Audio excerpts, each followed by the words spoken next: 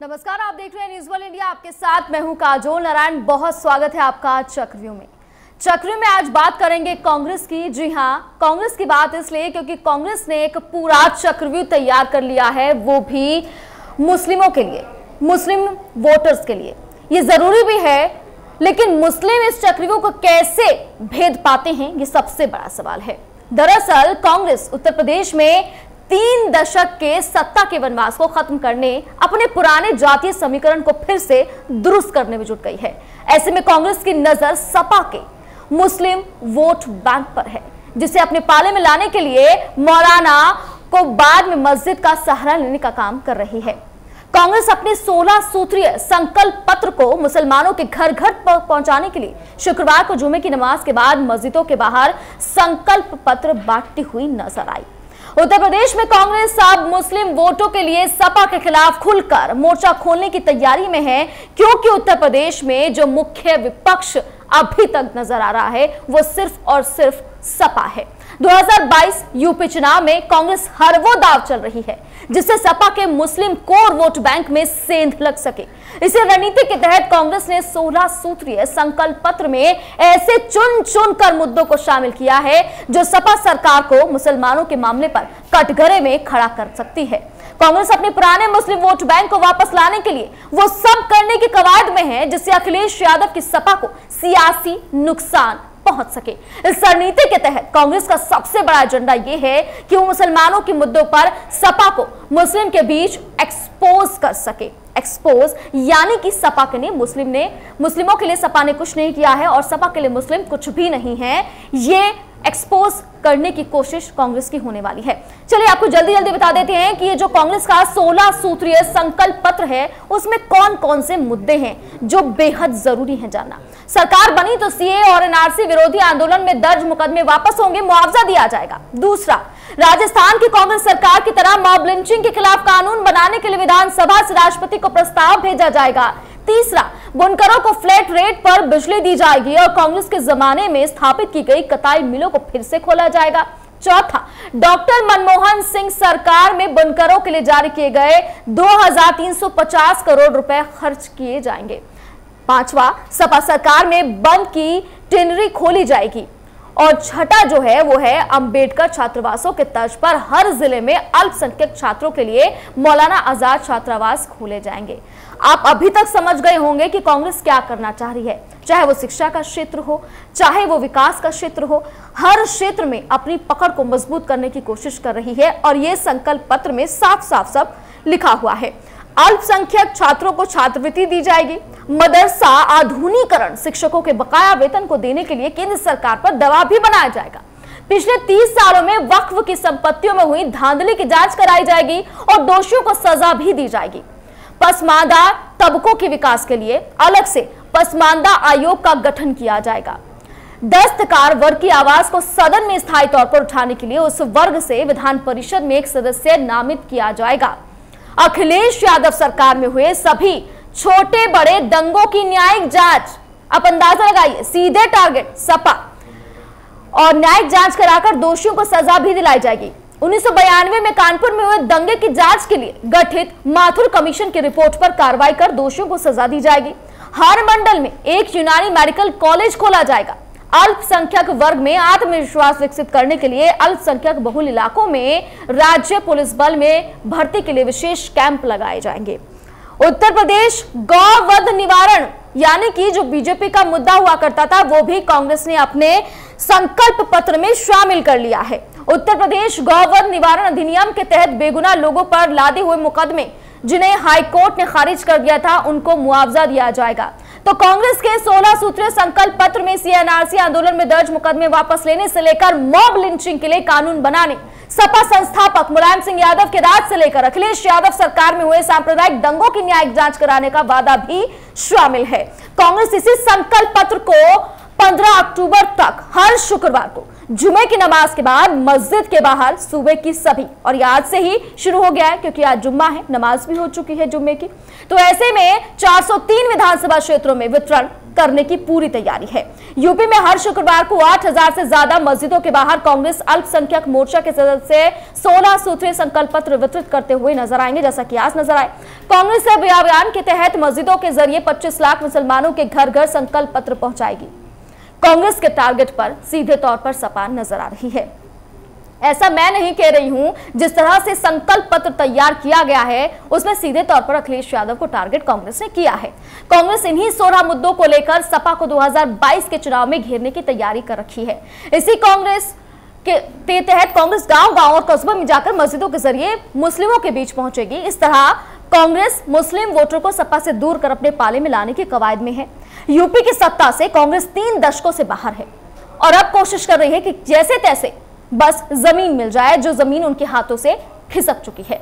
सपा बसपा ही सरकार में रही है। सूबे का मुस्लिम मतदाता आज़ादी के बाद से नब्बे के दशक तक कांग्रेस का परंपरागत वोटर रहा है, जिसके चलते कांग्रेस सत्ता पर विराजमान होती भी रही है।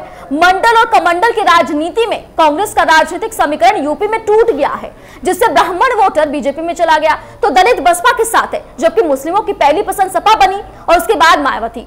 मुस्लिम वोटों के छिटकने के चलते कांग्रेस सूबे की सत्ता में दोबारा से नहीं आ सकी। ऐसे में कांग्रेस फिर से अपने पुराने मुस्लिम वोट बैंक को वापस लाने के लिए तमाम जतन कर रही है। यूपी में मुस्लिम वोटरों के लिए कांग्रेस ने सीधे सपा के खिलाफ मोर्चा खोल दिया। सपा को मुसलमानों के मुद्दे पर कांग्रेस न सिर्फ़ घेरेगी, बल्कि मुस्लिम समुदाय के बीच एक एक्सपोजर भी चाहती है। यूपी में मुस्लिम सियासत कांग्रेस ऐसे ही सपा को निशाने पर नहीं ले रही, बल्कि सीधे सीधे सियासत नज़र आती है। उत्तर प्रदेश में करीब 20 फ़ीसदी मुस्लिम वोटर्स हैं। उनको साधने की रणनीति तैयार है। 20 फ़ीसदी मुसलमानों को सूबे की कुल एक सीटों पर असर रहता है। इनमें से 70 सीटों पर मुस्लिम आबादी 20 से 30 फ़ीसदी है। तिहत्तर सीटें ऐसी हैं जहाँ मुसलमान 30 फ़ीसदी से ज़्यादा हैं। सूबे की करीब तीन दर्जन ऐसी विधानसभा सीटें हैं जहाँ मुस्लिम उम्मीदवार अपने दम पर जीत दर्ज कर सकते हैं। जबकि करीब 107 विधानसभा सीटें ऐसी हैं जहाँ अल्पसंख्यक मतदाता चुनावी नतीजों को खासा प्रभावित करते हैं। इनमें ज़्यादातर सीटें पश्चिमी उत्तर प्रदेश में हैं। जहाँ पर किसानों का हल्ला बोल चल रहा है, जहाँ पर किसान प्रदेश सरकार से, केंद्र सरकार से नाराज़ हैं। तो ऐसे में उन मुस्लिम किसानों को साधना आसान होगा जो पश्चिमी उत्तर प्रदेश से हैं। कांग्रेस के लिए यहाँ रास्ता साफ़ हो सकता है। तराई वाले इलाके और पूर्वी उत्तर प्रदेश में भी ऐसे ही हालात हैं। इसलिए कांग्रेस मुसलमानों को अपने साथ जोड़ने के लिए खुलकर सपा के खिलाफ मोर्चा खोल दिया है और आर पार के मोड में है। ऐसे में वो चाहे दबंगों की न्यायिक जाँच की बात हो या चाहे माथुर कमीशन की रिपोर्ट पर कार्रवाई करने का वादा हो, वो चाहे समाजवादी शासन के दौरान टेनरी और बूचड़ खाने की बंद होने की बात हो या फिर पुलिस बलों में अल्पसंख्यक समुदाय के लोगों की भर्ती का सवाल हो। ये ऐसे मुद्दे हैं जिन्हें लेकर कांग्रेस के निशाने पर सपा और अखिलेश यादव होंगे। ऐसे में देखना होगा कि कांग्रेस की यह रणनीति 2022 के चुनाव में कितनी सफल रहती है। तो आप अंदाज़ा लगाइए कि किस तरह से पूरी तैयारी कांग्रेस ने की है। देखिए, ये कहते हैं ना कि देर आए, दुरुस्त आए। कांग्रेस देर तो बहुत आई है, लेकिन दुरुस्त तरीके से आई है। आप अंदाज़ा लगा सकते हैं कि किस तरह से कांग्रेस ने पूरा जो प्रोपागेंडा है, वो तैयार किया है। पूरा ब्लूप्रिंट जो है, वो बहुत तगड़ी रणनीति के साथ तैयार किया गया है। इसमें स्थानीय मुद्दे भी हैं इसमें अल्पसंख्यकों का मुद्दा भी है, इसमें हिंदुओं का मुद्दा भी है, इसमें मुसलमानों का मुद्दा भी है, इसमें शिक्षा का मुद्दा है, इसमें बूचड़ खानों का मुद्दा है, इसमें गौवध का मुद्दा है, सारे मुद्दे हैं इसमें। किसानों का भी मुद्दा है। ये सोलह सूत्रीय जो संकल्प पत्र है इसमें सब कुछ लपेट कर रख दिया है कांग्रेस ने। तो ऐसे में सवाल यह है कि क्या सिर्फ़ ये चीज़ें संकल्प पत्र तक ही रह जाएँगे या धरातल पर भी कुछ चीज़ें निकलकर सामने आती हैं। लेकिन ये जो लालच कांग्रेस दे रही है, सोलह सूत्रीय संकल्प पत्र का, क्या इससे जनता आसानी से कांग्रेस के पास चली जाएगी? ये बहुत बड़ा सवाल है। सवाल इसलिए क्योंकि ऐसे बहुत सारे संकल्प पत्र हैं जो बीजेपी अपनी घोषणा पत्र में दिखा चुकी है। सपा भी दिखा चुकी है, बसपा भी दिखा चुकी है और कांग्रेस अब दिखा रही है। लेकिन कांग्रेस देर आई है। अपना सिक्का बहुत अच्छे समय पर अच्छे तरीके से फेंका है। लेकिन शायद अगर जल्दी फेंका होता तो बहुत फ़ायदा कांग्रेस को हो सकता था। देखिए, कांग्रेस की अगर बात की जाए तो जमीनी स्तर पर पूरी तरह से कांग्रेस खत्म हो चुकी है उत्तर प्रदेश में। अमेठी सीट बची थी, वो भी 2019 के लोकसभा चुनाव में। राहुल गांधी से स्मृति ईरानी ने छीन ली। या फिर ये कहें कि जनता ने खुद ही स्मृति ईरानी को वो सीट दे दी। अब सवाल ये कि 2022 का जो विधानसभा चुनाव होगा, वो कितना अलग है लोकसभा चुनाव से? देखिए, लोकसभा का जो चुनाव है ना, वो प्रधानमंत्री नरेंद्र मोदी के चेहरे पर लड़ा गया था। लोगों का यह मानना है। देखिए, मैं नहीं कह रही, लेकिन लोग ऐसा कहते हैं और जो सोशल एक्टिविटिस्ट हैं, वो कहते हैं कि वो प्रधानमंत्री नरेंद्र मोदी का चेहरा था। इस वजह से एक बम्पर जीत बीजेपी को हासिल हुई थी। लेकिन 2022 का जो यूपी में विधानसभा चुनाव है, वो बेहद ही अलग है। देखिए, बात पाँच राज्य की है। 2022 में पाँच राज्यों में चुनाव होने लेकिन सबसे ज़्यादा फोकस जो है वो उत्तर प्रदेश पे रहने वाला है, क्योंकि 2022 की जो तैयारी है, वो यूपी से ही होती दिखाई देती है। हर बार ऐसा ही होता है कि उत्तर प्रदेश की जो रास्ता है, वो दिल्ली तक जाएगा, ऐसा राजनीति के जो विशेषज्ञ हैं, वो मानते हैं कि अगर यूपी अगर यूपी में बीजेपी अच्छा कर रही है तो केंद्र में भी बहुत अच्छा करेगी। और इसी पर चर्चा करने के लिए मेरे साथ तमाम मेहमान मौजूद हैं। चलिए आपका परिचय करा देते हैं। मनोज यादव, सपा प्रवक्ता हैं। वैभव अग्रवाल, नेता है बीजेपी से। अब्दुल हामिद नुमानी, मुस्लिम धर्म गुरु हैं और भूदेव शर्मा हैं। प्रवक्ता हैं कांग्रेस से। आप सभी का बहुत स्वागत है न्यूज़ वर्ल्ड इंडिया में। सबसे पहला सवाल भूदेव शर्मा जी से क्योंकि इतना लंबा चौड़ा संकल्प पत्र जो कांग्रेस लेकर आई है भूदेव शर्मा जी देर आए दुरुस्त आए बहुत बढ़िया संकल्प पत्र तैयार किया है चारों ओर पटका नहीं दे रहे हैं सबको देखिए मैं सबसे पहले ये बताना चाहता हूँ कि इस देश में इस देश के निर्माण में जो कांग्रेस पार्टी की भूमिका है हम्म। वो किसी पार्टी की नहीं है हम्म। क्योंकि कांग्रेस पार्टी केवल एक ऐसी पार्टी है जो हमेशा ही सभी धर्मों को सभी जातियों को सभी वर्गों को साथ लेकर के चलने वाली पार्टी है हम्म। अब अगर कोई संकल्प पत्र निकाला है तो इसका मतलब ये नहीं है कि केवल ये मुसलमानों के लिए है या केवल एक हिंदुओं के लिए है या फिर केवल ईसाइयों या जैनों के लिए है आप देखिए कि उत्तर प्रदेश में जिस तरह से सपा ने बसपा ने या फिर ओवैसी जी ने बीजेपी का डर दिखा करके हम्म। मुसलमानों के मन में जो डर पैदा किया जिसके कारण वो कहीं ना कहीं अपने विकास से दूर हो गए और उनको गुमराह किया हम्म। जिसके कारण आज उत्तर प्रदेश की क्या पूरे भारत में मुसलमान काफ़ी पीछे चले गए हम्म। तो अब उनको आगे आने की ज़रूरत है क्योंकि देश एक ऐसे समय गुजर रहा है जिस समय भारतीय जनता पार्टी ने जो बड़े बड़े वादे किए थे वो भी देश के युवाओं ने देश के किसानों ने देश के मजदूरों ने देश के लोगों ने देख लिए अब ये बात मुसलमानों को भी समझ में आने लगी है चाहे ओवैसी जी हो चाहे सपा हो या बसपा हो। केवल उनको गुमराह करने का काम किया है कांग्रेस पार्टी ही है जो सभी के लिए काम करती है और आगे भी करती रहेगी। हम्म। ये संकल्प पत्र एक्चुअली एक्चुअली बात क्या होती है पता है? होता यह है कि अगर राहुल गांधी जी मंदिर में चले जाए हम्म। तो ये मुद्दा बना लेते हैं। अगर हम मस्जिद में चले जाए तो ये मुद्दा बना लेते तो हैं। तो अच्छी बात है राहुल गांधी सुर्खियों में बने रहते हैं हमेशा। ये तो अच्छी बात है राहुल गांधी सुर्खियों में बने रहते हैं। हाँ लेकिन बिल्कुल हम मंदिर हो मस्जिद हो हर जगह हम्म। जाते हैं हम्म। लेकिन इसको भारतीय जनता पार्टी वाले इसको मुद्दा बनाने का काम करते हैं हम्म। जबकि कांग्रेस पार्टी सभी वर्गों को सभी जातियों को साथ लेके चलती है हम हम हम किसी भी चुनाव में केवल मुद्दों के ऊपर चुनाव लड़ते हैं बेरोजगारी अपने चरम स्तर को छू रही है। हम्म। उत्तर प्रदेश में जिस तरह से मॉब लिंचिंग की घटनाएँ घट रही हैं ये सरकारी आंकड़े कहते हैं। हम्म। और आप देखिए कि किसान अपने हकों के लिए लड़ाई लड़ रहा है। तो हम्म। मुद्दों के ऊपर चुनाव लड़िए इस तरह से ध्रुवीकरण की राजनीति तो आप क्या सोच रहे हैं कि बाकी जो बाकी जो राजनीतिक दल है वो मुद्दा विहीन है? बाकी राजनीतिक दल मुद्दा विहीन राजनीति कर रहे हैं। बिल्कुल बिल्कुल कोई भी राजनीतिक दल मुद्दों को लेकर के जनता के सामने नहीं जाता है। हम्म। केवल उनको डर दिखाया जाता है। पाकिस्तान का डर दिखाया जाएगा हम्म। मुसलमानों का डर दिखाया जाएगा हम्म। मुसलमानों को बीजेपी का डर दिखाया जाएगा। लेकिन कभी ये रोज़गार की बात नहीं करते कभी ये किसानों की कभी ये आपके पास वापस लौटूँगी। बुदेव जी आपके पास वापस लौटूँगी। आपकी दो तीन बातें ऐसी हैं जो जानना बहुत ज़रूरी है। वो अब्दुल हामिद जी हमारे साथ बने हुए उनसे मैं जानूँगी। अब्दुल हामिद जी आप ये बताइए देखिए मुस्लिम धर्मगुरु हैं आप। आप मुझे ये बताइए कि जो आप बात भूदेव शर्मा जी कह रहे हैं कि बीजेपी जो है वो मुसलमानों को डराने का काम करती है मुसलमान पीछे रह गए हैं मुसलमान दब रहे हैं क्या आप भी ऐसा मानते हैं कि बीजेपी की सरकार में ऐसा हो रहा है? बीजेपी नहीं सपा और बसपा भी यही काम करती है। कांग्रेस? कांग्रेस क्या करती है? कांग्रेस पिछले तीन दशक से नहीं है सत्ता में लेकिन केंद्र पर तो काफ़ी राज किया है। वही वही वही मैं आपको बताना चाह रहा हूँ कि आप उत्तर प्रदेश के हालात देखिए 1970 से पहले और 1970 के बाद जब बसपा सपा और बीजेपी की बुदेव जी बुदेव जी मेरा सवाल ये मेरा सवाल अब्दुल हामिद जी से था। बिल्कुल। अब्दुल हामिद जी मेरी आवाज़ मिल रही है आपको? चलिए हामी जी तक मेरी आवाज़ नहीं पहुँच पा रही है मैं यहाँ रुक करूँगी वैभव अग्रवाल जी का क्योंकि बीजेपी नेता है वो तो उनसे भी सवाल लेना बहुत ज़रूरी है। जो बातें अभी कही हैं भूदेव शर्मा जी ने वैभव अग्रवाल जी क्या लग रहा है आपको? जो कह रहे हैं भूदेव शर्मा जी वो सही है? अगर आप तो नाटेंगे ही लेकिन फिर भी मैं पूछ रही हूँ।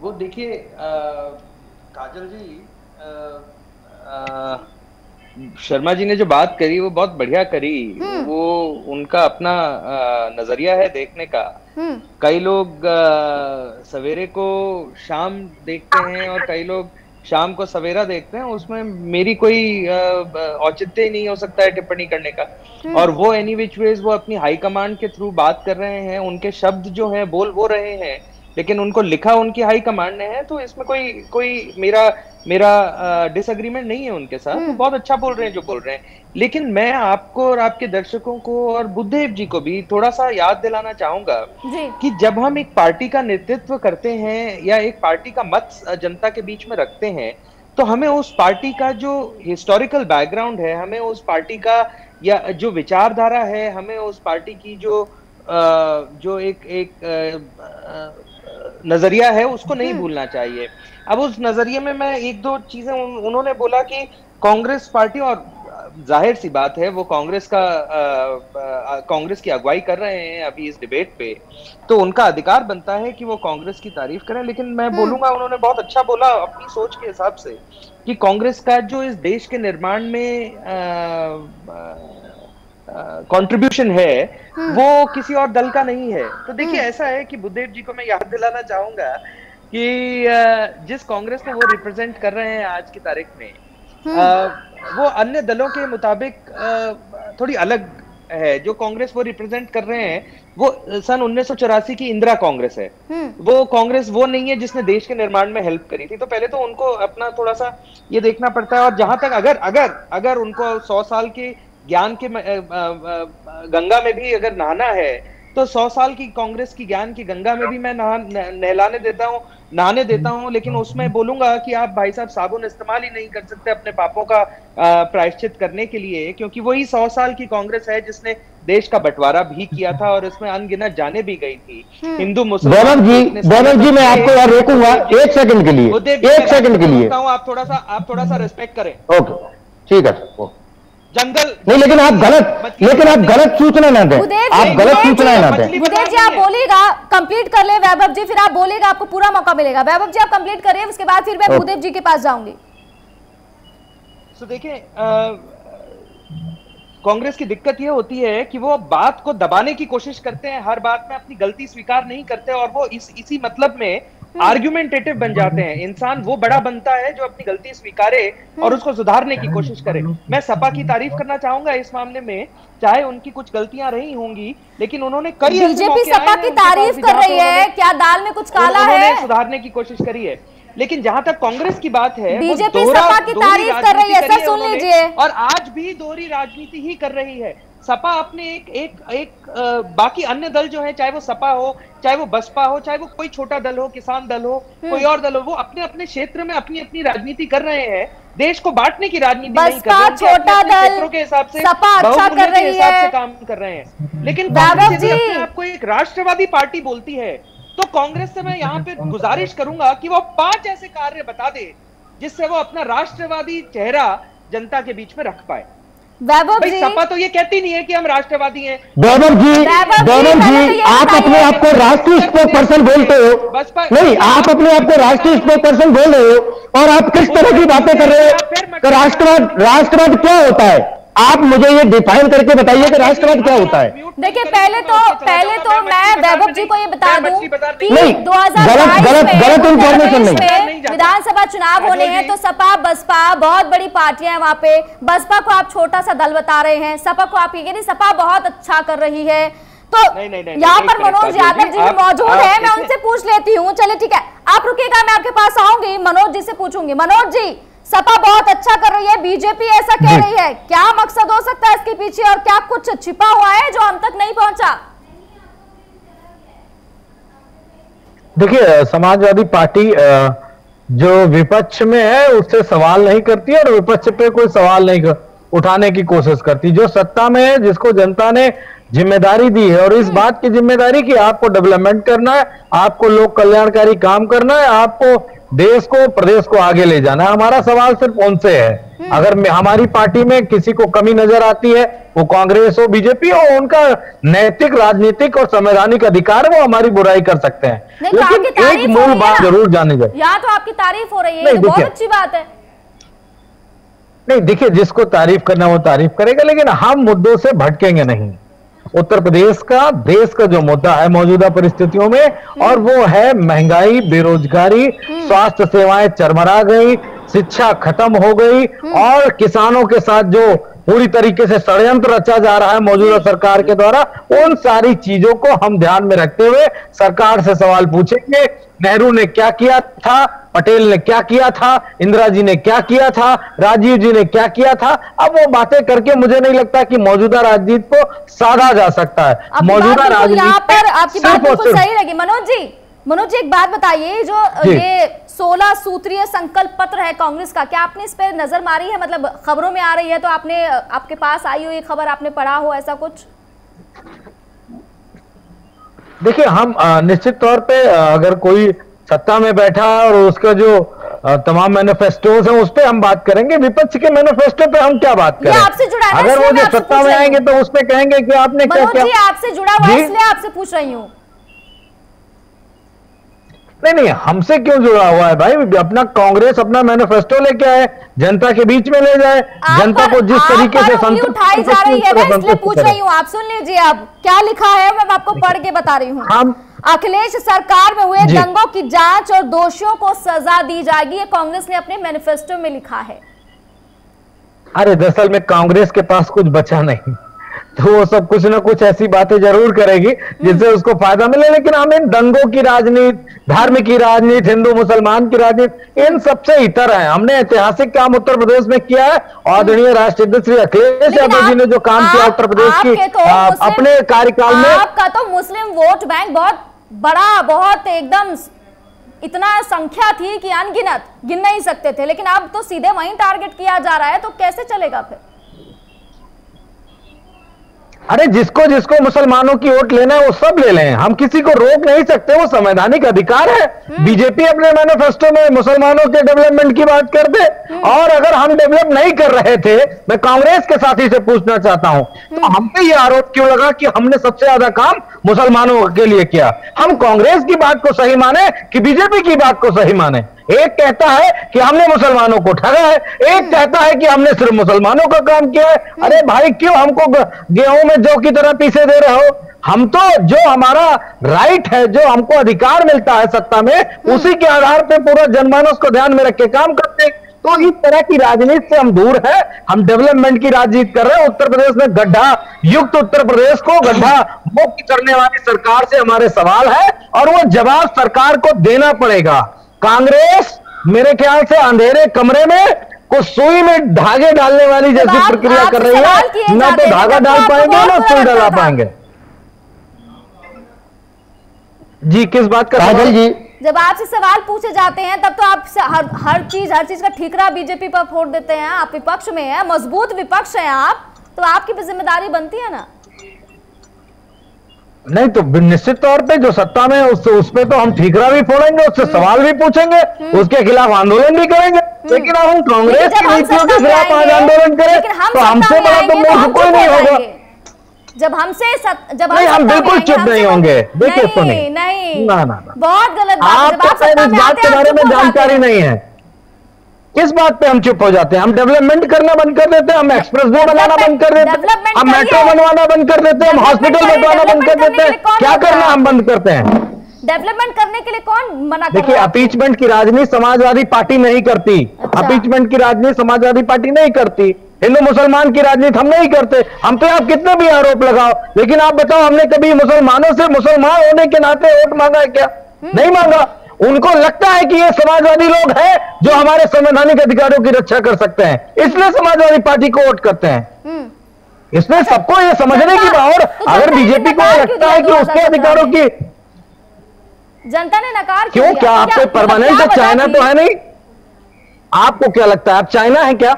ये लोकतांत्रिक देश है। पाँच साल के लिए सत्ता का चुनाव होता है अगर आपको आपका कामकाज नहीं जनता को अच्छा तो लगा तो कि जनता आपको हरा देती है। तो आप ये मानिए ना देखिए मैं आपसे बहुत ही शालीन तरीके से पूछ रही हूँ। आप मानते हैं ना कि आपने आपका काम जनता को नहीं पसंद आया? देखिए अब हम फिर उसी बात पे आएँगे तो मेरे ख्याल से आपको लगेगा कि मैं अपनी बात बदल रहा हूँ। आप ये बताइए हम ना, ना, ना, 2017 में एक मिनट 2017 में हम किस पे वोट मांग रहे थे? हम कह रहे थे हमने बेहतरीन एक्सप्रेस वे बनाया हिंदुस्तान का। हम कह रहे थे हमने मेट्रो चलवा दी ढाई साल में हमने कहा हमने 18 लाख बच्चों को लैपटॉप दिया। हमने कहा हमने 55 लाख महिलाओं को पेंशन दिया। हमने कहा कि हमने लगभग लगभग छप्पन जिलों में डबलीकरण सड़कों का कर दिया। हमने कहा कि हमने स्वास्थ्य सेवाओं में अभूतपूर्व काम किया हमने लखनऊ में डेवलपमेंट किया इंफ्रास्ट्रक्चर पे स्वास्थ्य शिक्षा पे काम किया लेकिन बीजेपी क्या कह रही थी? शमशान कब्रिस्तान पाकिस्तान तो हिंदुस्तान हिंदू मुसलमान तो बहुत ये सब काम पे बात हो रही थी। सर आपने तो बहुत काम कर दिया। फिर उत्तर प्रदेश की हालत लचर क्यों थी जब 2017 में बीजेपी आई? बीजेपी क्यों सवाल करती है आपसे? आपने बहुत काम किया। चलिए आपके पास वापस क्या रही है? मनोज जी आपके पास क्या रही है? कौन सा काम कर रही है बताइए ना बीजेपी देखिए मैं आप बीजेपी के पाँच काम बना दीजिए। आप ही आप ही मैंने तो दस अपने बता दिए आप देख रहे हैं ना। जी। आप बताइए मैं क्यों बताऊँगी? आप अपने मुद्दे बता रहे हैं बीजेपी अपना हैं बीजेपी काम कर रही है तो बीजेपी कौन सा काम कर मैंने रही है ये बोला ही नहीं आपसे कि बीजेपी काम कर रही है। मैं कह रहा नहीं नहीं अगर बीजेपी को कौन सा उत्तर प्रदेश खराब व्यवस्था में मिला था? आज उत्तर प्रदेश की स्थिति वो तो- पता है क्या? वो तो वो तो वैभव जी बताएँगे कैसे- कैसे हालात थे। मैं आपको बता दूँ हम्म, जो जो हमने प्रति व्यक्ति आय की जो आमदनी थी व्यक्ति की। जहाँ हमने छोड़ा था जो पाँच प्रतिशत के करीब थी वो आज 2.8 परसेंट रह गई है। तो ये बीजेपी ने हमारे बढ़ाए हुए कामों को आगे बढ़ाया। जो एक्सप्रेस में हमने 22 महीने में बना दिया आज दूसरा एक्सप्रेस में पाँच साल पूरा हो गया और जिसमें 30 परसेंट काम हमने कर दिया था ज़मीन अधिग्रहण का लगभग 90 परसेंट काम कर दिया था। वो काम नहीं पूरा कर पाए तो बीजेपी से सवाल पूछे ना। बिल्कुल क्या काम किया उन्होंने? यहीं बैठे हैं वैभव जी बैठे हैं। आपके जितने भी सवाल है ना उन सबके जवाब यहाँ वैभव जी देंगे। उससे पहले बहुत देर से भूदेव जी कुछ कहना चाह रहे हैं क्योंकि उनका ही मैनिफेस्टो जो है वो सामने आया है। बोलिए भूदेव जी। हाँ। काजल जी मैं एक दो सवाल है जो मनोज जी ने और वैभव जी ने बोले थे पहले मैं उनका जवाब दूँगा। बिल्कुल। उसके बाद मैं बताऊँगा। कि जैसे ये कहते हैं कि हमने मुसलमानों के लिए काम किया तो हमें वोट क्यों नहीं मिलते? तो मैं ये बता देना चाहता हूँ कि अगर आप मुसलमानों के लिए या फिर सभी के लिए काम करते तो आज आपको ब्राह्मण सम्मेलन करने की या फिर किसी दूसरी जातियों का सम्मेलन करने की ज़रूरत नहीं पड़ती चाहे बसपा हो या सपा हो। सुन लिए पहले। और अगर आप देश के बंटवारे की अगर आप बात करते हो वैभव जी तो आपको याद होना चाहिए कि देश के बंटवारे को सबसे पहले किसने स्वीकार किया? और किसकी वजह से देश का बंटवारा हुआ? आप इतिहास पर ध्यान दीजिए। और दूसरी बात यह है कि आज जिस तरह से देश के हालात बने हुए हैं ऐसे हालात भी दीजिए ना। वैभव जी मैं भी शांत रहा था आप सुन लीजिए फिर। आज ऐसे समय में जब पूरा देश जहाँ अघोषित इमरजेंसी के हालात बन चुके हैं सरकारी संस्थाओं को ध्वस्त किया जा रहा है और अगर कोई बीजेपी के खिलाफ बोलता है तो उस पर सरकारी संस्थाओं को द- चाहे ईडी हो आईडी हो उनके छापे पड़वाए जाते हैं। केवल और केवल कांग्रेस पार्टी है जो देश के लोगों के लिए लड़ाई लड़ रही है। हमारे नेता राहुल गांधी जी सड़क से संसद तक लड़ाई लड़ रहे हैं। कोरोना के समय में भी लाखों लोगों को बचाने का काम भारतीय युवा कांग्रेस के द्वारा किया गया। भूदेव जी आपको बुरा लग जाएगा लेकिन अगर एक बात बोलूँ तो आप सुनिएगा। बिल्कुल बोलिए आपका अधिकार आप- है बोलिए आप बताइए। आपको इमरजेंसी से इतना डर क्यों लग रहा है? इमरजेंसी से तो आप निकल कर आ चुके हैं फिर इतना डर काहे रहे हैं? काजल जी हमें इमरजेंसी से डर नहीं लग रहा है। हम्म, लेकिन आज? जिस तरह के हालात है आज हम आज हम एक ऐसे एक विश्व के सबसे बड़े लोकतांत्रिक देश में और वहाँ के हालात इस तरह के हैं कि आज पुलिस वाले आम पब्लिक को किस तरह से पीट रहे हैं आप देख रहे हो। और ज, ज, जिस तरह से सरकारी संस्थाओं को दुरुपयोग किया जा रहा है जिन लोगों ने कोरोना में लोगों की मदद की उन पर छापे पड़वाए जा रहे हैं। जो कोरोना में घरों में दुबके हुए बैठे थे तलवारें दिखा रहे थे उस समय भी हिंदू मुस्लिम में लगे हुए थे। लाखों लोग मर रहे थे। उस समय भी घोटाले करने में लगे हुए थे। वो लोग वो लोग आज देश में राष्ट्रवाद की बात करते हैं। इनको ये नहीं पता कि आखिर राष्ट्रवाद क्या होता है देश क्या होता है वैभव जी देश देश के लोगों से बनता है। जब आप लोगों को बांटने का काम आज आप कर रहे हो आप इस देश के टुकड़े टुकड़े करवाने का काम कर रहे हो आप इस देश को धर्मों में जातियों में बांटने का काम कर रहे हो कभी ये आप पहले कभी नहीं टुकड़े है इस टुकड़े देश में। बोलते हैं कभी आप उन्हें टुकड़े टुकड़े बोलते हैं कब तक चलता रहेगा ये? बिल्कुल आज जितने भी सरकारी इंस्टीट्यूट है आज यूनिवर्सिटियों को बदनाम किया जा रहा है। आज आज भारतीय जनता पार्टी के खिलाफ कोई भी आवाज़ उठाता है चाहे वो किसान हो तो वो खालिस्तानी हो जाता है या आतंकवादी हो जाता है। अगर विद्यार्थी अपने अधिकारों के लिए नौकरी के लिए आवाज़ उठाता है तो वो निठल्ला हो जाता है आतंकवादी हो जाता है। मजदूर अगर अपने हक के लिए आवाज़ उठाते हैं तो वो देशद्रोही हो जाते हैं। तो इनको ये पूछिए कि आखिर ये राष्ट्रभक्ति होती क्या है? क्या केवल चंद लोग मात्र तेईस प्रतिशत लोग ही देशभक्त है क्या? इस देश के 73 प्रतिशत लोग देशभक्त नहीं है। आपने इस देश की आज़ादी में कितना योगदान दिया था इसको बताइए देश के लोगों को। और देश के मुद्दों को लेकर के चुनाव में जाइए। ये हिंदुस्तान ये पाकिस्तान जी आपके बहुत सवाल हो गए बीजेपी से। आप मेरे सवाल का एक जवाब दे दीजिए। आपके सेकंड नंबर पर आपने लिखा है अपने मैनिफेस्टो में कि राजस्थान की तर्ज पर मॉब लिंचिंग के खिलाफ कानून बनाया जाएगा। आप ये बताइए कि आप चाहे कानून बनवाएँ या फिर ना बनवाएँ या फिर पहले आपने कानून बनाया हो चाहे वो राजस्थान के तर्ज पर हो या किसी भी राज्य के तर्ज पर हो। आप ये बताइए कि मॉब लिंचिंग की घटनाएँ कम हुई हैं आप आवाज़ तो उठाते हैं इसको आपने मुद्दा तो बना लिया है लेकिन आपके ही राजस्थान में लगातार लगातार मॉब लिंचिंग की घटनाएँ सामने आ रही हैं। तब आप कुछ नहीं बोलते तब आप नहीं जाते। लेकिन अगर हाथरस कांड हो जाता है तो हाथरस में प्रियंका गांधी जी भी जाती हैं राहुल गांधी जी भी जाने की कोशिश करते हैं लेकिन राजस्थान आप नहीं जाते। काजल जी अब मेरे को इसका जवाब देने दीजिए। चौदह के बाद जिस बिल्कुल 2014 के बाद जिस तरह से पूरे देश में हम्म। मॉब लिंचिंग की घटनाओं में बढ़ोतरी हुई है हम्म। ये मेरा डाटा नहीं है ये सरकार का डाटा है हम्म। और आप राजस्थान की बात करते हो तो राजस्थान में जहाँ पर भी मॉब लिंचिंग की घटनाएँ हो रही है तो आप देखिए कि उसके खिलाफ कैसे कितनी जल्दी कार्रवाई की जा रही है और आप उत्तर प्रदेश या मध्य प्रदेश में जाकर करके देखिए क्या उनके खिलाफ कार्रवाई की जा रही है? बात सवाल यहाँ पैदा होता है कि मॉब लिंचिंग की घटना अगर घटित हो रही है तो उसके खिलाफ पुलिस कार्रवाई कर रही है या नहीं?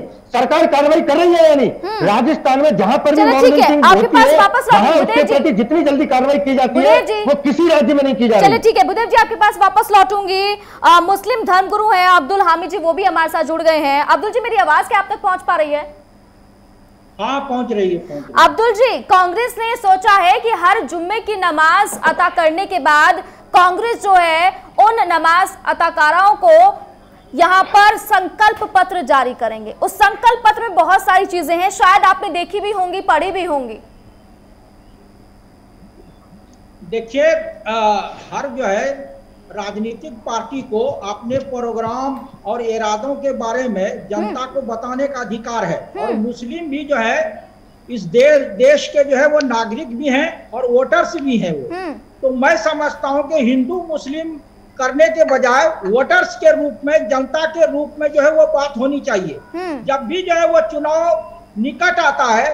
तो वो कहता है कि मुसलमान किधर जा रहे हैं। ये कोई नहीं कहता है कि हिंदू किधर जो है वो जा रहा है या यादव किधर जा रहा है या दलित किधर जा रहा है तो ये जो है हिंदू मुस्लिम की राजनीति जो है वो गलत है और हमने ये देखा है हमने कांग्रेस का भी दौर देखा है और जो है वो बीजेपी का भी दौर देखा है और हम्म। सपा का भी दौर देखा है तो हम्म। कहीं न कहीं वो थोड़ा बहुत जो है हमें जो अंतर था और हम जो है सत्ताईस अट्ठाईस साल से मीडिया में है और हम्म। हम जो है बराबर आते रहे लेकिन इस तरह का जो है वो मीडिया में जो है वातावरण नहीं था पहले। हम कांग्रेस से कह सकते थे सपा से भी कह सकते कि ये करना चाहिए ये नहीं करना चाहिए। लेकिन अभी की स्थिति जो है वो बिल्कुल जो है वो बदली हुई है।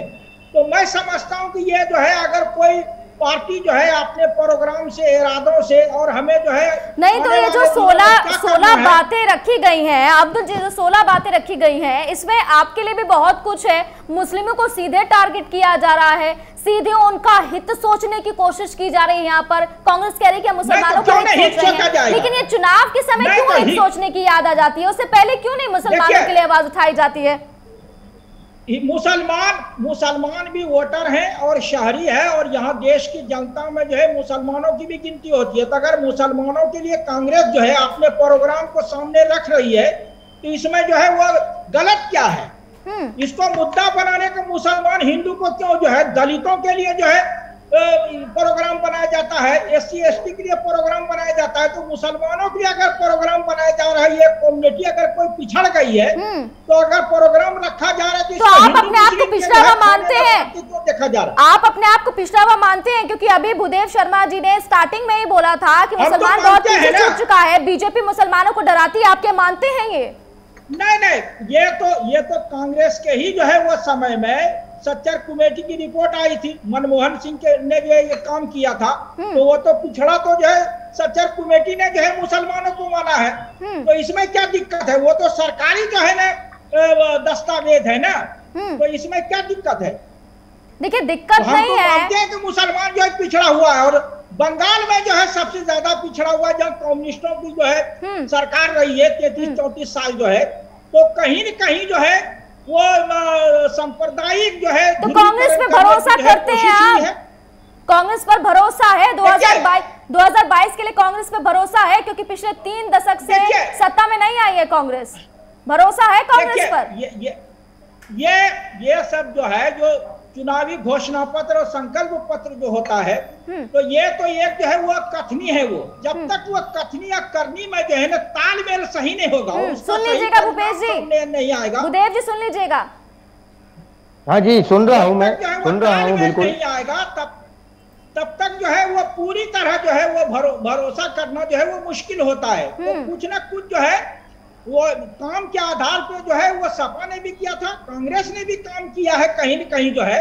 लेकिन जो है कि सांप्रदायिक जो है तत्वों को जो है जितना दबाना चाहिए चलिए ठीक है आपने ये कहा कि सपा ने भी काम किया कांग्रेस ने भी कहीं ना कहीं काम किया है। आप मुझे बता दीजिए कि अभी जो सत्ता में सरकार है बीजेपी उसने कितना काम किया है मुसलमानों के लिए? ये ये अभी तो इसका सिर्फ़ जुमला और नारा चल रहा है। हम्म। सबका साथ सबका विकास सबका विश्वास जो है ये अभी नारा चल रहा है। हम्म। अभी धरातल पर नहीं है कुछ? ऐसा जो है आए? धरातल पर कुछ नहीं है अभी सिर्फ़ नारा ही है। नहीं हमें तो जो है अभी जो है वो धरातल पे कुछ नज़र नहीं आ रहा हिंदू मुसलमान और जो है वो पाकिस्तान और उर्दू और शमशान और कब्रिस्तान के अलावा हमें अभी जो कुछ नज़र नहीं आ रहा इसी को लेके लोग जो लड़ रहे हैं तालिबान अब्दुल जी ठीक है। ठीक है आपके पास लौटूँगी। अब्दुल जी ठीक है आपके पास लौटूँगी। वैभव जी सुन पा रहे हैं मुझे आप?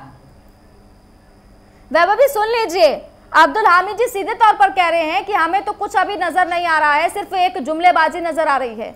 धरातल पर कुछ नहीं है। बीजेपी सिर्फ़ अफ़गानिस्तान पाकिस्तान कर रही है। तो एक बात बताइए अब्दुल जी बॉर्डर पे जाके लड़ाई लड़ना चाहेंगे क्या? अफ़गानिस्तान के खिलाफ बोल सकते हैं कि मैं अफ़गानिस्तान की निंदा करता हूँ मैं पाकिस्तान की निंदा करता हूँ मैं चैलेंज करता हूँ। आप आप ठीक है। आपकी सरकार पहले जो है वो तय करे ना। सरकार अपनी पॉलिसी तय करे कि अफ़गानिस्तान और तालिबान क्या है। एक मिनट आप तय कीजिए ना आपकी सरकार ने अभी तक तय नहीं किया है। केंद्र सरकार जो है वो तय क्यों नहीं कर रही है? वैभव जी आप तो बहुत निश्चिंत बैठे हैं ऐसा लग रहा है कि मानो कि 2022 जो है वो तो बस पूरी तरह से अपनी मुट्ठी में है अब हम निश्चिंत बैठ गए हैं कॉन्फिडेंट होकर। देखिए ऐसा है काजल जी जो इंसान कार्य करता है और अब्दुल भाई थोड़ा सा सुनने की क्षमता भी रखिए। मैं आपसे छोटा हूँ और आप एक धर्म गुरु हैं मौलाना हैं तो मैं आपसे क्या सीखूँगा? मतलब मुँह तोड़ना सीखूँगा आपसे? आप मेरे को शिक्षा गलत दे रहे हैं ना? तो थोड़ा सा मेरी मे, मेरा वक्तव्य भी सुन ले बड़ा अच्छा लगेगा। है ना? अपन विचार विचारों का आदान प्रदान कर रहे हैं। नहीं तो आ, आपने मुझसे सवाल किया इसीलिए मैंने कहा कि आप जो है वो तय कीजिए। पॉलिसी तो अथॉरिटी तय करती है ना? सरकार जो तय मौलाना तो साहब सरकार के साथ है। मौलाना साहब मौलाना साहब या तो आप बोल लें या मेरे को बोलने दें। आपने आपने पाँच सात मिनट बोल लिया। अगर आपका गला थका नहीं है तो आप थोड़ी देर और बोल लें अपनी दिल की इच्छा पूरी कर लें। नहीं तो मैं बोल लेता हूँ क्योंकि मैं तो साल में 1200 घंटे करता हूँ टेलीविज़न। 1200 घंटे टीवी पे लाइव रहता हूँ मैं साल में है ना पार्टी की तरफ़ से। तो आप आ, नहीं है आपकी हो सकता है इच्छा थोड़ी ज़्यादा हो तो आप कर लो कोई दिक्कत नहीं है मेरे को। ह- ह- हम हम आपसे ज़्यादा रहते हैं टेलीविज़न पे आपको मालूम नहीं हमारे बारे में। चलिए अब इस पे मत लड़िएगा कि हाँ। टेलीविज़न पर कौन ज़्यादा रहता है कौन नहीं मुद्दों पे हाँ, ये ये सब जो है बताने की ज़रूरत नहीं है। मुद्दों पे आप बहस कीजिए ना आप तय कीजिए ना तालिबान अफ़गानिस्तान के बारे में। अब्दुल जी सुन लीजिए चलिए ठीक है बीजेपी का जो पक्ष है वो भी हम सुन लेते हैं ना क्योंकि सत्ता में तो बीजेपी है सवाल तो उनसे ये जवाब देने दीजिए सवाल किया आपने तो जवाब भी मुद्दों पे बहस कीजिए ना। नहीं आप आप आप बोल लीजिए या तो आप बोल लें या मैं बोल लेता हूँ। बहुत हो गया। बोलिए बोलिए आप। मेरे को समय बर्बाद करने की आदत नहीं है। मेरे को और भी काम है सरकार चलानी है जनता की सेवा करनी है। आपके पास बैठ के बकर बकर बकर बकर करनी है उसके अलावा आपको कुछ नहीं आता है। मैं आपसे एक अरे पहले बोल- बोलने के लिए सीख लीजिए। पहले गरिमा भाषा की गरिमा सीख लीजिए पहले जो है। कहते हैं। पहले गरीब आप मेरे बीजेपी वालों ने ये भाषा की गरिमा भी गिराने का काम किया है। जुड़ा हुआ बीजेपी वालों ने भाषा की गरिमा भी गिराने का काम किया है। नहीं आती मेरे आपको यही तमीज नहीं है कि जो क्या बोलना चाहिए किससे बोलना कंप्लेन चाहिए? करिए। नहीं आती तमीज मेरे को जाइए कंप्लेन करिए। क्योंकि हम नहीं आप पहले तमीज सीख लीजिए। आप पहले तमीज सीख लिया कीजिए जो है। नहीं है गली कूचे पे जानवरों को काटने की।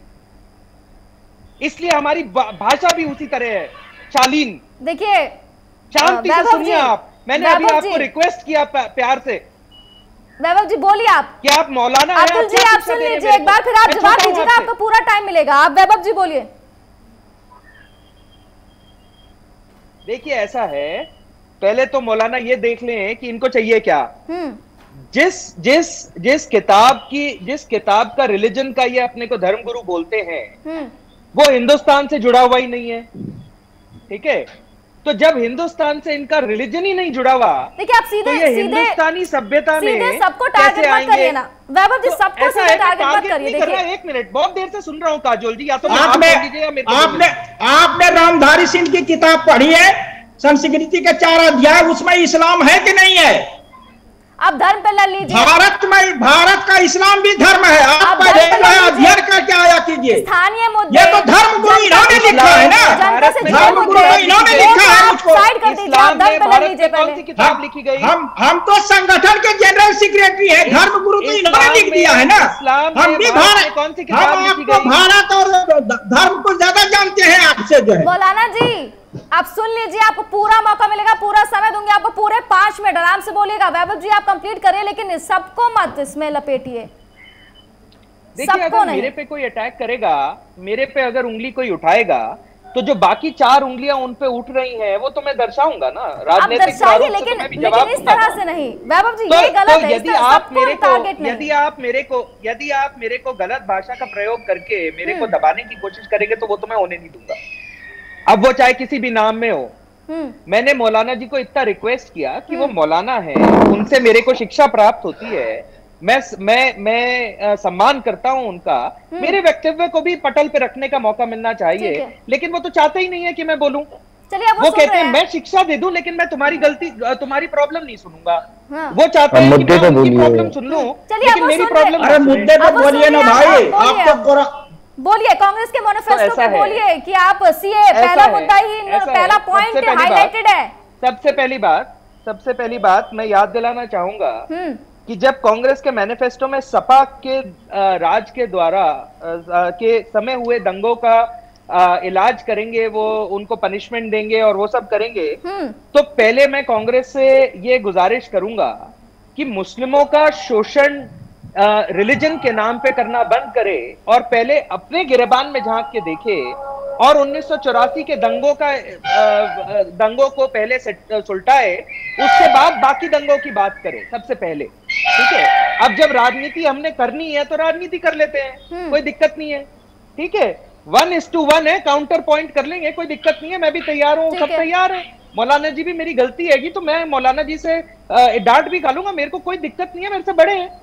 लेकिन बोल बोलूँगा नहीं तो मैं कैसे अपनी दिल की बात उन तक पहुंचाऊँगा? हम्म।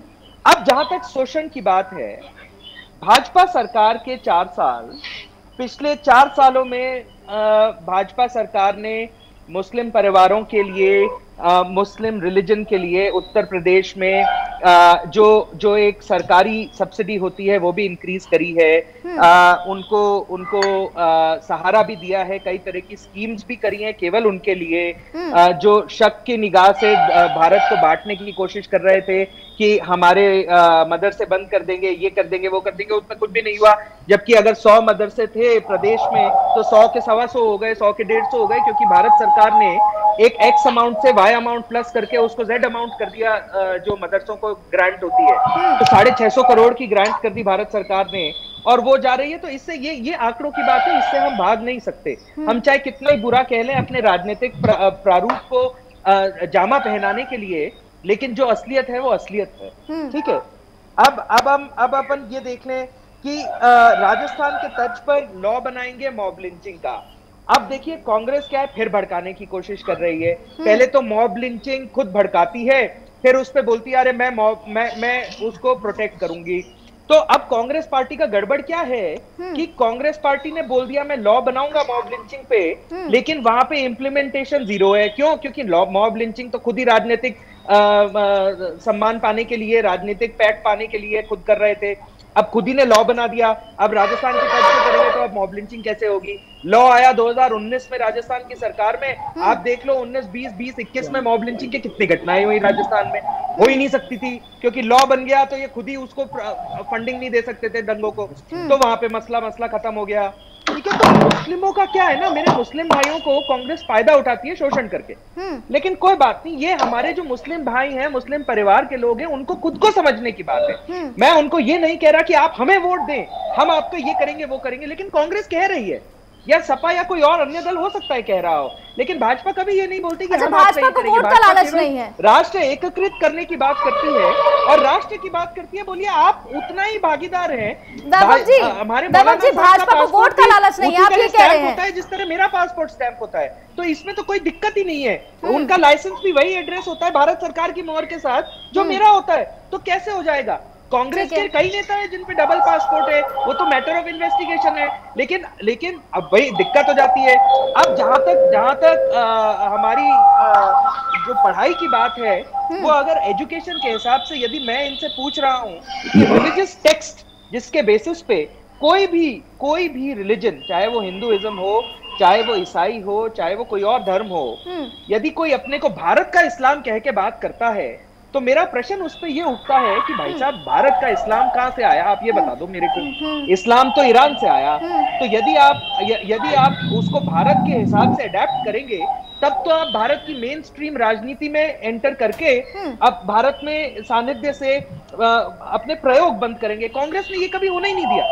कांग्रेस ने हमें हर, इनको हर चीज़ हमेशा थाली ठीक है वैभव जी लेकिन आपकी जितनी भी बातें यहाँ पर आपने रखी हैं फैक्ट रखे हैं। रिसर्च ही ना कर पाए। वैभव जी आपने फैक्ट रखे हैं लेकिन एक चीज़ मुझे में आई है कि आपने सीधे तौर पर ये कहला है कहा है कि बीजेपी को ना वोट की ज़रूरत नहीं है तो क्या बिना वोट के बीजेपी नहीं नहीं हमने ये नहीं कहा पूजा जी वोट के लिए जी ये गलत बात कह रहे हैं शब्द आपके हैं वोट- नहीं बोल रहे हैं वोट के लिए- हमने नहीं लिखे हैं आप वोट के लिए नहीं करते। आपने ये बोला वोट के लिए नहीं करते। मेरे को वोट चाहिए राष्ट्र की राजनीति के लिए हाँ, यदि आप- आप ये समझते हैं एक धर्म के हिसाब से कि आप राष्ट्र में एकीकृत होकर रह सकते हैं तो आप मुझे ये बताइए। contribute कर सकते चलिए, एक छोटा सा सवाल है आपसे आप मेरा। कार्य सुनिश्चित कर सकते हैं एक वैभव जी, एक छोटा सा तो सवाल। आपका स्वागत है एक आम नागरिक की तरह मैं भी आपसे सवाल कर सकती हूँ जी आप एक बहुत छोटा सा सवाल आप ये बताइए कि जब आप धर्म की राजनीति जातिवाद की राजनीति नहीं करते तो जब बसपा ने प्रबुद्ध सम्मेलन निकाला तो आपने क्यों सम्मेलन शुरू कर दिया? उससे पहले तो ऐसा कोई सम्मेलन दिखाई नहीं दे रहा था। बहुत छोटा सा क्वेश्चन कोई बात नहीं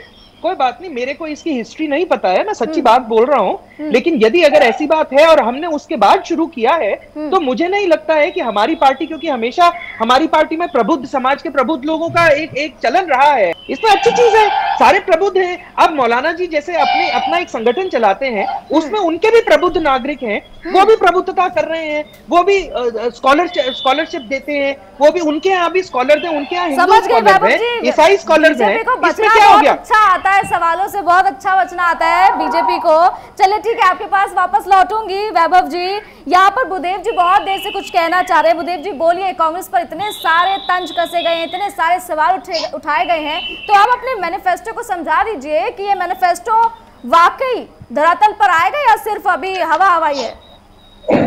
काजल जी जैसा मैं सबसे इनके सारे सवालों का जवाब भी दूँगा और उससे पहले मैं ये भी एक बार फिर से बताना चाहता हूँ। शॉर्ट में क्योंकि समय की थोड़ी सी कमी है। बिल्कुल शॉर्ट में बिल्कुल बिल्कुल शॉर्ट में सिर्फ़ दो से तीन मिनट। ठीक है। देखिए जिस तरह से कांग्रेस पार्टी हमेशा सभी जातियों धर्मों को साथ लेकर के चलने वाली पार्टी रही है।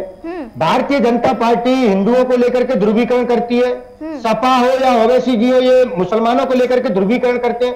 ये पार्टियाँ केवल ध्रुवीकरण महिलाओं की इतना राजनीति बड़ा करती तो है। अधिकार दिला दिया बीजेपी ने इतना बड़ा अधिकार दिला दिया मुस्लिम महिलाओं को। आप कह रहे हैं कि मुसलमानों काजल के जी लिए काम सुनिए नहीं करती। बिल्कुल। काजल जी जिस तरह का डर हिंदुओं को मुसलमानों का पाकिस्तान का दिखाया जाता है और सपा के द्वारा पाकिस्तान की ओवैसी तो के द्वारा बीजेपी का डर को मुसलमानों को दिखाया जाता है? कांग्रेस की यही आदत मुझे अच्छी नहीं लगती हर बात में अरे पाकिस्तान अभी चुनाव चुनाव आ गए। काजल जी चुनाव आ चुके हैं। और चुनावों में पाकिस्तान आता है। यूपी की बात के करिए। पाकिस्तान आता है। लोकसभा चुनाव नहीं है। देखिए विधानसभा चुनाव है 2022 के। उत्तर यूपी के आप उस पर बात करिए ना।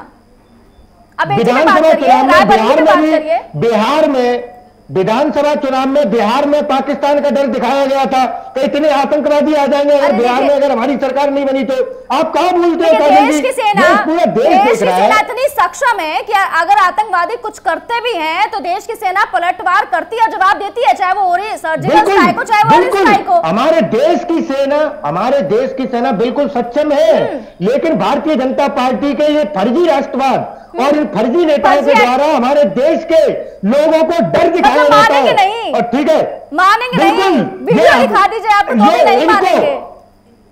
भारतीय जनता पार्टी के नेताओं को हमारी सेना पर शक है। हमको नहीं है। हमको अच्छा। पूरा भरोसा है हमारी सेना पर। इसलिए हम कभी बात नहीं करते। चाहे पाकिस्तान हो या कोई भी और देश हो हमारी सेना पूरी तरह सक्षम है। लेकिन ये डर दिखा करके लोगों में ध्रुवीकरण की राजनीति करते हैं। और ये दंगों की जो बात कर रहे हैं तो मैं ये बता दूँ अच्छा छोटे से पाकिस्तान से इतना बड़ा हिंदुस्तान डर जाएगा। ये तो छोटे से पाकिस्तान से हाथ में कटोरा लेकर माँगता है मदद। यही मैं बताने की कोशिश कर रहा हूँ कि ये डराने की कोशिश करते हैं लोगों को। ये डरते हैं। ये अमेरिका से डरते हैं ये चाइना से डरते हैं। हमारे मोदी जी चाइना से डरते हैं चाइना अंदर तक आ गया बोलते नहीं है। जवाब नहीं देते देश की जनता को। अरे ये डरते हैं पाकिस्तान से ये पाकिस्तान से ऊपर नहीं उठ पाते। ये सरासर गलत बयानबाजी है। बुदेव जी चलिए आप इसको इसको छोड़िए आप ये बिल्कुल। मुझे तो ये बिल्कुल अगर व्यक्तिगत तौर पर कहूँ तो बिल्कुल गलत बयानबाजी है। एज एंकर नहीं कह रही हूँ मैं व्यक्तिगत तौर पर कह रही हूँ। हर चुनाव से पहले हर चुनाव से पहले पाकिस्तान क्यों आता है? हर चुनाव से तो पहले ये आप लोग जानिए ना। ये आप लोग जानिए। मैं पाकिस्तान पर बात नहीं करूँगी। जब आप तालिबान पर मुझसे बात करेंगे जब तालिबान पर मैं डिबेट करूँगी सुन लीजिए पहले एक छोटी सी बात। जब आप तालिबान पर डिबेट करिएगा मैं पाकिस्तान पर बात करूँगी मैं चाइना पर बात करूँगी मैं अमेरिका पर बात करूँगी। लेकिन अभी मैं बात यूपी पर कर रही हूँ तो आप बैठिए रायबरेली पर बात। करिए।